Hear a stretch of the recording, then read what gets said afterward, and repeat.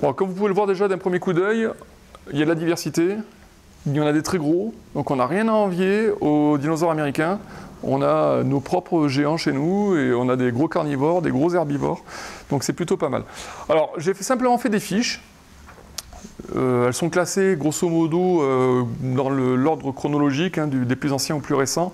Après, j'ai essayé de, ranger les animaux au sein de même famille quand ils étaient contemporains.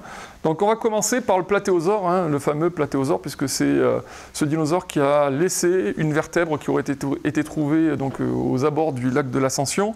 Et en fonction de, du secteur du lac, ça peut jouer à quelques millions d'années près. C'est un animal donc comme j'expliquais, ce sont des sauropodomorphes, ce sont les, animaux les primitifs qui vont donner ensuite ces gros, dinosaures à long cou, long queue. Donc ceux-là sont encore bipèdes, c'est parmi les tout premiers. Et on va avoir un gigantisme qui va apparaître même chez ces dinosaures-là. Donc on pense, vu leur morphologie, que bon, c'est des animaux qui étaient herbivores, mais avec leurs grosses griffes, peut-être qu'ils pouvaient encore déraciner euh, des choses ou euh, gratter le sol pour manger des racines.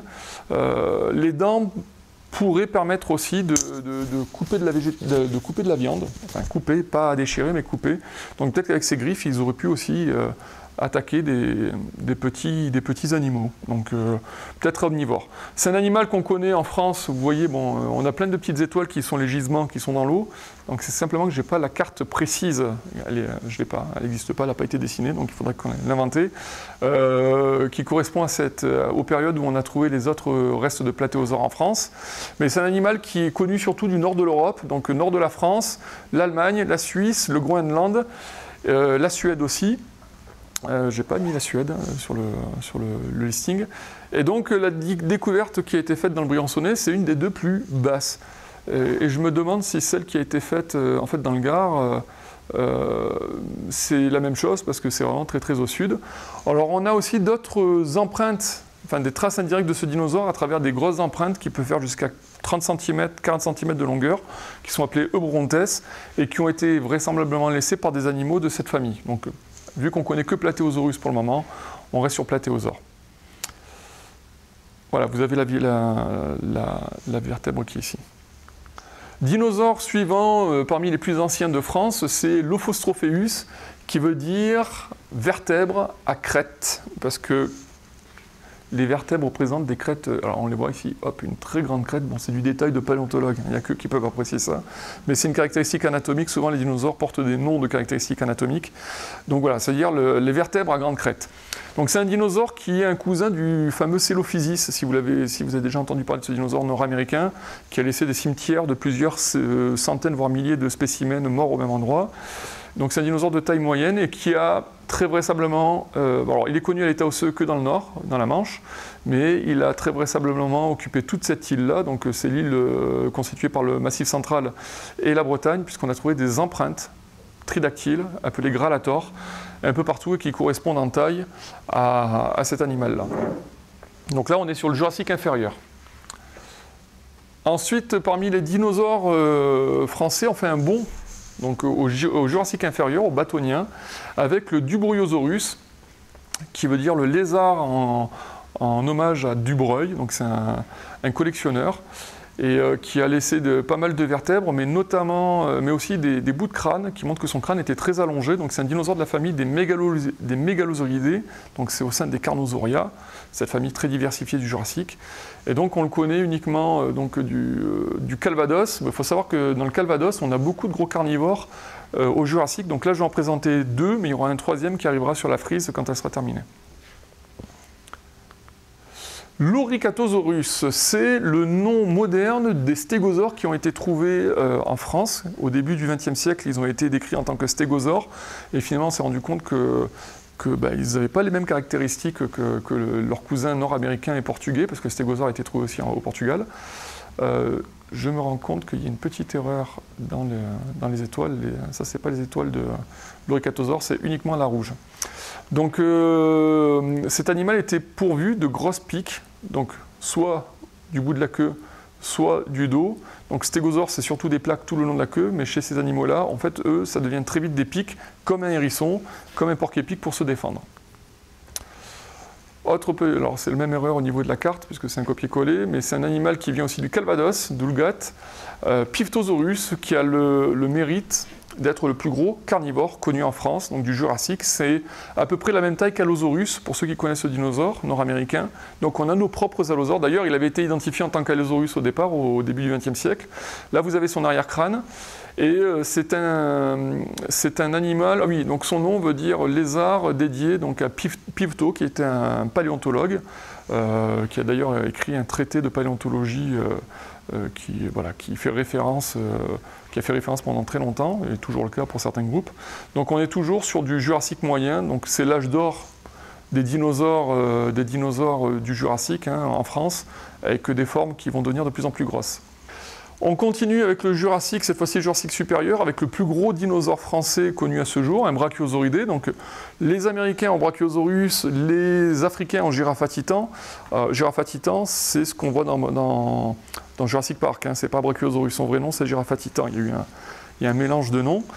Euh, ben on a le nôtre aussi, avec un animal qui est estimé à 15 mètres de long, euh, presque 10 mètres de haut, et euh, qui est connu à partir de vertèbres et d'os d'humérus qui ont été découverts dans le Jura français. Alors, comme par hasard, c'est dans le Jura qu'on trouve les plus grosses empreintes euh, connues au monde, les empreintes qui font plus d'un mètre de large. Alors, c'est des sous-empreintes, hein, ce n'est pas les empreintes directes, mais euh, quand un animal met, euh, écrase le sol, ça affecte toutes les couches qui sont en dessous, et donc en dessous, ça peut laisser des, sous-empreintes. Donc, donc, voilà, on a des très gros dinosaures qui vivaient en Provence, en Provence dans la partie moyenne de la France. Hein. C'est vrai que pour les Provençaux, c'est déjà le nord, mais euh, on a déjà des gros dinosaures.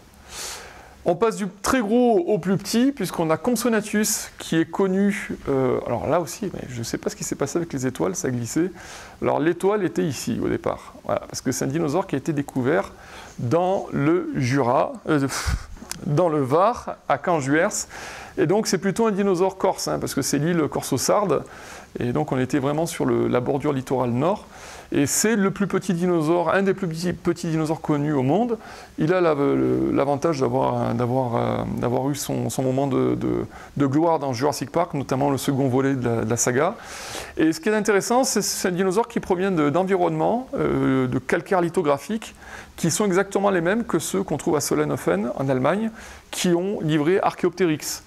Donc on peut très vraisemblablement penser qu'on a de l'Archéoptérix chez nous, sauf qu'on ne l'a pas encore trouvé, parce que les environnements sont exactement les mêmes par contre. Autre dinosaure très connu, euh, c'est Iguanodon, euh, dinosaure avec ses fameux pouces en forme d'épines. Donc là on est passé au Crétacé inférieur, euh, on est aux alentours de... On est sur du 120-130 millions d'années à peu près. Et donc c'est un dinosaure très, répandu en, Europe, hein, même euh, surtout en Europe, avec tous les pays de, l'Europe du Nord, et donc le nord de la France est très représenté. On a trouvé des, cimetières à, Iguanodon, à Iguanodon en Europe, donc là j'ai mis simplement les, gisements français, mais il y aurait des étoiles absolument partout. Il y a tellement de restes d'Iguanodon qu'ils ont été capables, enfin les paléontologues ont fait des distinctions, il y a un nouveau genre qui a été créé, qui s'appelle Mantellisaurus, il fera l'objet de son petit dessin aussi. Et donc c'est un dinosaure herbivore, euh, qui fait partie de ces dinosaures herbivores qui vont être remplacés par les dinosaures à bec de canard au cours du temps parce que leurs dents n'étaient pas adaptées à la végétation moderne, notamment les plantes à fleurs. Autre dinosaure de grande taille, le Normaniasaurus, qui, comme son nom l'indique, le lézard de Normandie, ce qui a été découvert en Seine-Maritime. Euh, donc tout, proche de, la Normandie. Je, pense que c'est même considéré comme la Normandie au sens large du terme. Et donc c'est un animal qui est connu euh, par des, séries de vertèbres qui, qui, ont été trouvées en plusieurs fois. Donc un animal qui fait environ 13 mètres de long. C'est un titanosaure, donc les, les lézards à long cou qui vont remplacer les brachiosaures et les diplodocus au cours du temps et qui vont devenir les sauropodes les plus diversifiés du Crétacé. Épisaurus, alors ça ne veut pas dire le lézard content, heureux, euh, ça veut dire le lézard haut, parce que c'est un, un gros reptile, c'est un des tout premiers dinosaures décrits en France, avec cet humérus qui a été décrit en 1823. Et j'ai eu la chance de retrouver cet os dans les collections de Montpellier. On pensait qu'il avait disparu. Et en fouillant dans les collections, je suis retombé sur, sur un gros bout d'os avec une étiquette euh, à peine lisible. Et j'ai lu Episaurus. Donc ça a permis de remettre la main sur, euh, sur ce fossile. Donc c'est une relique vivante, on va dire, de, de dinosaures du Jurassique qui ont, qui ont tenu jusqu'au Crétacé moyen, entre guillemets. Donc on est à la fin du Crétacé inférieur et ces dinosaures vont être complètement remplacés par les titanosaures. Donc lui, il vient du Vaucluse, au pied du, Mont Ventoux, hein, il a été trouvé. Donc ensuite, on a Erectopus qui provient de la Meuse. Donc c'est un dinosaure qui a été décrit enfin, au tout début du 19e siècle et qui est un petit carnivore d'environ 5 mètres de long, un Metriacanthosaurus, donc un Metriacanthosauridé, pardon, c'est de la famille des Carnosauria, pareil. Euh, bon, comme son nom l'indique, ça veut dire jambe droite, enfin pied droit, puisqu'on a un fémur qui a été trouvé et quelques dents. Ça montre qu'on a des carnivores de taille moyenne qui, euh, vivent. Alors il faut savoir que le Crétacé, la fin du Crétacé inférieur, ce, ce que je surnomme le Crétacé euh, moyen, donc c'est l'apsien, l'albien, le cénomanien, est très très mal connu en France. C'est des faunes qui sont pourtant très riches ailleurs euh, dans le monde, notamment en Amérique du Sud et en Afrique du Nord, avec des dinosaures gigantesques, euh, des faunes, des faunes euh, très diversifiées. Et chez nous, c'est très très rare encore. Donc quand on aura fini de faire les dinosaures du Jurassique et les dinosaures du Crétacé, il faudra que les paléontologues s'intéressent vraiment à cette période-là et qu'ils fouillent un peu partout où on peut trouver des restes de, de, terrain proches des continents, enfin proches des milieux terrestres. Euh, parce qu'on a sûrement de très belles surprises à faire sur, euh, sur cette époque. Autre dinosaure euh, pas très loin de chez nous, celui-là provient des Alpes d'Haute-Provence, pas loin de Sisteron, c'est Genusaurus. Alors Genusaurus, ça veut dire le lézard à genoux, parce qu'en fait, ils ont trouvé un bassin et une jambe, et donc il y avait le tibia aussi, donc le genou. Voilà, il manquait un peu de, un peu d'imagination à un paléontologue qui lui ont donné son nom. Donc c'est un abélisauridé, alors, ce sont ces dinosaures qui proviennent en fait de l'hémisphère sud. Je parlais du Carnotaure et tous ces dinosaures à tête couronnée euh, de protubérances osseuses. Donc, on pense que ces animaux arrivent à coloniser la France, le sud de la France, durant le Crétacé euh, moyen, et ensuite vont rester coincés sur, notre île et vont évoluer dans leur coin. Euh, et ça, c'est un tout petit abélisauridé, hein, puisqu'on pense. Alors, il n'a peut-être pas fini sa croissance, il y a des, des caractéristiques osseuses qui montrent que, bon, il y a des choses qui peuvent se discuter, mais en tout cas, l'individu fait 3,50 m. On change complètement de famille de dinosaures, et là on attaque le Crétacé euh, supérieur, donc la fin de l'époque des dinosaures. Donc là, toutes les étoiles, elles sont bien positionnées, c'est la Provence, et euh, le, midi de la France de manière générale. Donc Struthiosaurus, un nom qui veut dire le lézard autruche, il n'a rien à voir avec l'autruche, c'est simplement que les premiers os qui ont été découverts de ce dinosaure en Roumanie et en Hongrie euh, ont laissé penser qu'il s'agissait d'un oiseau fossile géant. D'où le fait euh, de la comparaison avec l'autruche. Mais on s'est rendu compte par la suite que c'était un petit dinosaure donc, euh, de la famille des ankylosauriens, ces, familles, ces dinosaures blindés. Et en Europe, euh, vu qu'ils vivent sur des îles, ben, ils sont tout petits, en ce qu'on appelle du nanisme insulaire. Quand on a des, conditions de vie particulièrement réduites en termes de, ressources et de compétition forte pour ces, pauvres ressources, ben, on a les animaux qui vont voir leur taille rapetissir de plus en plus. Et euh, à titre de comparaison, les ankylosauriens qui vivent en Amérique du Nord, c'est 15 mètres de long. Hein. Donc là, on est sur du 2,50 m, 3 mètres, c'est pas très très gros. Donc là, vous avez les fameux nodules osseux ici, donc c'est plein de petites plaques qui vont protéger le, dos de l'animal. Le fameux rhabdodon, qui est le dinosaure le plus connu, le plus répandu du sud de la France pour le Crétacé. On en a des, plusieurs dizaines de squelettes plus ou moins complets. Les deux plus complets ont été trouvés sur Vitrolles, donc dans les Bouches-de-Rhône, avec des animaux qui pouvaient atteindre jusqu'à 6 mètres de long. Un animal avec un bec de perroquet, pas de sabots, pas de griffes sur le pouce, peut-être une voile sur le dos, parce qu'on s'est rendu compte que selon les, spécimens, on avait des épines neurales, donc les épines sur le, le enfin, les petites bosses qu'on sent sur la colonne vertébrale qui pouvaient être bien développées, jusqu'à 30 cm de, hauteur. Et donc ça, c'est les deux spécimens les plus connus et les plus, euh, les plus complets au monde. Mais je triche parce que cet animal n'a jamais quitté cette île en fait. Hein. donc c'est un animal purement, français. Et les les Arabdodontidés, cette famille, n'ont vécu qu'en Europe. Donc lui, il a été découvert, c'est le premier dinosaure découvert en Provence, 1869, pendant le percement du tunnel de la Nerte. C'est un tunnel qui permettait d'arriver à Marseille en traversant les montagnes qui, contournent la ville.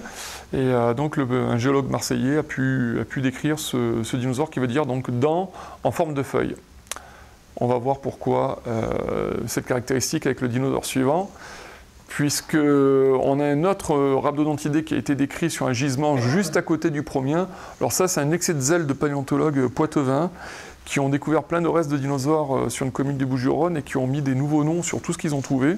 Euh, ce qui fait qu'on a trois nouveaux dinosaures sur un même gisement, et c'est pour ça que statistiquement ça fait exploser la courbe. Mais euh, Matoronodon, pour moi, c'est juste un rhabdodon. Voilà, c'est celui-là, mais peut-être femelle, parce qu'on a un crâne beaucoup plus court. Et on s'est rendu compte sur des gisements que je suis en train de fouiller sur la réserve naturelle qu'on a les deux morphologies, des crânes allongés, des crânes, des crânes courts, sur le même gisement, mélangés, donc on a peut-être mal les femelles tout simplement. Par contre, on peut répondre à la question pourquoi rhabdodon dans cannelé? Ben, Parce que du coup, sur les dents, on voit ici euh, qu'il y a des petites cannelures. Ça fait des petites stries, là aussi. Donc, ce qui lui vaut son nom. Materonodon, ça veut dire la dent de Materon. C'est le géologue qui a décrit euh, rhabdodon en 1869. Canardia, c'est un des tout derniers dinosaures euh, herbivores connus en, Europe. Donc un dinosaure bec de canard. Ils ont réussi à coloniser l'Europe. Ils ont remplacé les rhabdodons et les titanosaures. Euh, parce qu'eux se nourrissaient donc des plantes modernes, donc les, angiospermes, les, angiospermes, les plantes à fleurs, avec des dents donc, euh, en forme de batterie faites pour mâcher. Donc là, euh, c'est la vue latérale, donc on ne voit pas l'intérieur, mais il y a en fait des tapis de dents qui, sont sur toute la surface interne de la mâchoire. Donc comme son nom l'indique, dinosaures bec de canard, donc là on voit pas le bec, mais ils ont un bec un, peu spatulé comme les, bah, comme les canards tout simplement. Donc ça, c'est un petit, il y a marqué 13 mètres, pardon, mais c'est 5 mètres. C'est un petit individu, sûrement un juvénile. Donc les adultes pouvaient peut-être euh, atteindre jusqu'à 6 ou 7 mètres. Donc lui, il provient de Haute-Garonne.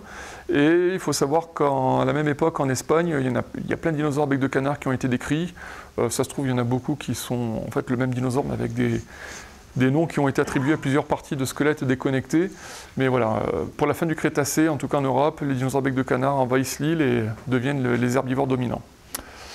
On attaque maintenant les dinosaures à long cou du Crétacé supérieur de Provence avec Ipsilosaurus. Alors je l'ai mis entre, guillemets parce que ce nom n'est plus valide, il a été euh, déclaré euh, comme non douteux puisque sur les éléments qui ont été décrits en 1869 par Materon, en même temps que dans la même publication que Rhabdodon, euh, ben, tous ces os en fait ont quasiment disparu. J'ai juste retrouvé celui-ci et celui-là et c'est pas suffisant pour garder la définition de ce nom comme valide. Je le, maintiens dans les dinosaures de France, puisque c'est quand même le plus gros titanosaure découvert à ce jour dans le sud de la France, avec une estimation à 15 mètres. Si je suis très rigoureux, mais si je me laisse un peu déborder, je pourrais aller jusqu'à 18 mètres. Euh, on n'a pas trouvé plus gros, enfin aussi gros que les spécimens que j'ai pu retrouver dans les collections du, Muséum de Marseille. Donc Ipsilosaurus, ça veut dire le grand lézard. Au départ, il avait été euh, confondu avec une baleine, ou un saurien gigantesque. Euh, et Materon pensait que les œufs qu'on trouvait fossiles euh, en Provence étaient des œufs d'Ipsilosaure. Donc sans le savoir, il a attribué aux dinosaures, avant tout le monde, des œufs fossiles euh, dès 1869. Et donc ce ne sont pas les Américains en 1925 qui ont décrit les premiers, dinosaures, les premiers œufs de dinosaures. Ça, voilà, c'est un des deux titanosaures qui vont suivre, qui proviennent de la commune de Velo, où on a Matoronodon qui a été décrit. Donc pareil, hein, là on a des tas d'os qui ont reçu des noms euh, sans vraiment se concerter avec ce qui a été découvert ailleurs en Provence ou dans le sud de la France ou même ailleurs en Europe. Donc Atiganosaurus, c'est le lézard tzigane, parce que le paléontologue qui l'a décrit s'est rendu compte qu'il était assez proche de ce qu'on trouve en Roumanie. Alors c'est une blague qui n'a pas trop fait rire euh, les politiques qui ont financé euh, les recherches, euh, parce que se mettre à dos une partie, une partie de, la, communauté tzigane, c'est pas, pas sympathique. Mais voilà, c'était pour eux, pour les paléontologues, c'était pour montrer qu'il y avait peut-être des migrations qui se faisaient entre l'Europe centrale et la France à cette époque. Autre titanosaure donc, qui provient de Velo, et là c'est un festival de, spéculation, donc ils ont trouvé des restes d'un petit individu très, très robuste, Sûrement un juvénile qui faisait entre 4 et 6 mètres de long, qui a été surnommé Garriga Titan, donc c'est-à-dire le, titan des garrigues. Et euh, voilà. Donc ils ont pris tous les os qui n'appartenaient pas au précédent euh, pour en faire un nouveau, pour en faire un tas et mettre un nom à celui-ci. Euh, et ils ont estimé que l'adulte pouvait aller jusqu'à 12 mètres de long, mais on ne sait pas sur quelle base, puisqu'on n'a pas du coup d'os de grosse taille allant avec ce spécimen. On terminera les titanosaures avec le plus gros spécimen et le plus complet connu à ce jour. Il provient de l'Ode. C'est Ampelosaurus, donc le lézard de, la vigne. Ampelo, ça veut dire vigne. Et donc, il est connu par plusieurs dizaines d'os, sûrement plusieurs individus, et notamment par des ostéodermes. C'est un titanosaure qui avait euh, une armure sur le dos. Donc, on sait qu'en Amérique du Sud, on a beaucoup de titanosaures qui ont cette caractéristique. Ils ont des grosses plaques osseuses qui se protègent. Tout récemment, en 2018, il y a un titanosaure qui a été décrit en Espagne sur le même gisement que celui euh, où on a cette étoile, où on a des, des épines osseuses qui couraient le long du dos carrément. Donc ça, c'est pas connu encore en France. Donc là, c'est un spécimen qui est estimé entre 13 et 15 mètres de long pour les plus gros, les plus gros, les plus gros os. On termine avec les carnivores et toute la diversité de carnivores du sud de la France. Donc avec Tarascosaurus, qui veut dire le lézard tarasque. Alors pas Tarascon, hein, la ville, mais c'est un rapport avec le, dragon euh, légendaire qui vivait dans le Rhône durant l'époque médiévale, euh, selon les récits, et qui faisait naufrager les, les, bateaux. Donc Tarascosaurus, c'est simplement un petit abilisauridé qui fait 3 mètres de long, qui est connu que par deux bouts de vertèbres et un fémur et qui a été découvert. Alors, il a été découvert dans un tiroir. et dans ce tiroir, il y avait une étiquette où il y avait marqué le Bossé Var. Et euh, du côté du Bossé Var, il y a bien des terrains du Crétacé, du Campanier inférieur. Donc euh, vraisemblablement, ça, proviendrait de là. Mais on n'a pas pu retrouver le site. Enfin, même s'il y a des gisements qui sont connus, on n'a pas retrouvé le gisement qui aurait pu euh, livrer ces eaux. donc on continue à chercher. Ça provient des collections de l'Université de Lyon. Donc Arcovenator, donc celui qui trône fièrement au-dessus de la porte, c'est donc le plus gros abélisauridé connu euh, du sud de la France. Il est connu dans l'Hérault aussi, avec peut-être des individus plus gros que ceux qu'on a en Provence. Euh, et qui, comme je vous l'expliquais, avait ce gros bourrelet osseux. Donc ça, c'est le gros bourrelet osseux au-dessus de l'œil. L'œil était par ici et qui faisait donc une espèce de grosse crête qui courait jusqu'à l'avant du, du museau. Il est connu par une dizaine d'os qui euh, ont la bonne idée d'être suffisants pour le comparer avec tous les autres abélisauridés connus dans le monde. Donc du coup, on peut faire des, comparaisons euh, détaillées. Et c'est comme ça qu'on s'est rendu compte que nos abélisaures, qui vivaient donc au Crétacé inférieur, euh, au Crétacé terminal, donc on est au Campanien, il y a 72 millions d'années, 74 millions d'années, avaient gardé un look très primitif, très proche de ce qu'on trouve au Crétacé moyen, donc cette fameuse époque où on a une lacune, où on a très peu d'informations. Donc en fait, c'est comme si leur évolution avait quasiment ralenti, euh, stoppé. Et on retrouve le même phénomène à Madagascar, où on a des abélisauridés qui ont un look très primitif, alors qu'en Amérique du Sud, en Afrique, où on a beaucoup d'espace, où on est sur des terrains des, continents, on a des abélisauridés qui ont, évolué vers des animaux beaucoup plus... Euh, beaucoup plus différents, enfin très différents, avec des, crânes beaucoup plus courts, ben, les, fameuses cornes de Carnotaurus, et des bras totalement atrophiés. C'est plus, là on a des mini-bras, mais ça devient des moignons chez les, les, chez les abélisauridés les plus, les évolués. On termine avec euh, les raptors et euh, leurs descendants euh, aviens. Donc on a plusieurs raptors dans le sud de la France, hein, on peut en, être fier. Le, premier c'est Variraptor, qui pour certains paléontologues est est plus valide parce qu'on n'aurait pas assez, d'ossements pour, euh, pour, soutenir son identification. Mais sur la réserve naturelle, on a des vertèbres et des dents qui ont été trouvées en très grand nombre, donc on espère qu'on va pouvoir euh, réhabiliter ce, dinosaure. En tout cas, pour le moment, moi je le garde comme valide, parce qu'il est différent de ce que j'ai pu comparer ailleurs. Et c'est le plus gros euh, connu dans le sud de la France avec ses 3 mètres de longueur. On a son petit, voisin et concurrent qui a été découvert. Alors celui-là a été découvert sur la réserve naturelle et dans le Var. À quelques dizaines de kilomètres, sur la commune de Tretz, on a donc Pyroraptor, qui veut dire le, raptor euh, de l'incendie, du feu, puisqu'il a été trouvé, après l'incendie. Et donc là, c'est notre équipe de fouilleurs. Je reviens sur Raptor. Donc lui, ça a été décrit par une équipe de Parisiens dans les années 90. Et ça, c'est notre équipe de Parisiens, euh, le concurrente, qui a décrit celui-là, donc 10 euh, km plus loin. Et les deux, équipes se sont fait la guerre pendant, pendant 15 ans pour savoir qui avait raison sur l'attribution du nom au reste de Raptor qu'on avait en Provence. Et euh, pour moi, c'est pas la même chose, parce qu'ils n'ont pas tout à fait le même âge, ils n'ont pas la même taille, et les dents sont très différentes. Donc, euh, je suis le seul à avoir pu faire le point, puisque ben, les, les, nouvelles informations euh, ont été trouvées il n'y a pas très longtemps, donc c'est pas encore publié. Donc voilà, moi je distingue les deux animaux Et on a un troisième, avec un nom euh, assez exotique, qui s'appelle Ricardo Estesia. Alors ça veut dire, c'est un dinosaure en hommage de Richard Estes, qui était un paléontologue américain. Et euh, cet animal, est, bon, il pose des problèmes. Parce qu'en fait, il est connu depuis le Jurassique supérieur jusqu'au Crétacé terminal. Donc c'est presque, je dirais, 70 millions d'années d'évolution. C'est énorme pour un dinosaure. Et il est connu en Amérique du Nord, au Portugal, en Espagne, en Roumanie. Et autre problème, donc là j'ai illustré des dents pointues, c'est l'espèce Ricardoestesia isocellus, mais on a une deuxième espèce sur tous ces gisements qui s'appelle Ricardoestesia gilmorei, et le fait qu'on ait deux espèces sur tous ces gisements pendant 70 millions d'années, il y a un problème. Soit on a mâle et femelle, soit c'est des dents qui appartiennent à différentes parties de la mâchoire et qui ont été identifiées comme étant deux espèces différentes, euh, soit les paléontologues précédents n'ont pas regardé assez attentivement les détails des dents pour essayer de séparer tous ces, euh, tous en plusieurs espèces différentes. Donc lui c'est un petit animal, hein. les dents, ça vous voyez, c'est en fait c'est un, un, dixième de millimètre. Donc les dents font, font 4 à 5 mm de haut. Non, je dis des bêtises, ça c'est un millimètre. Les dents font 4 à 5 mm de haut. C'est très petit, donc l'animal est estimé à, 1,50 m. Et le meilleur pour la fin, ce sera le tout dernier dinosaure, puisque là on attaque euh, les oiseaux.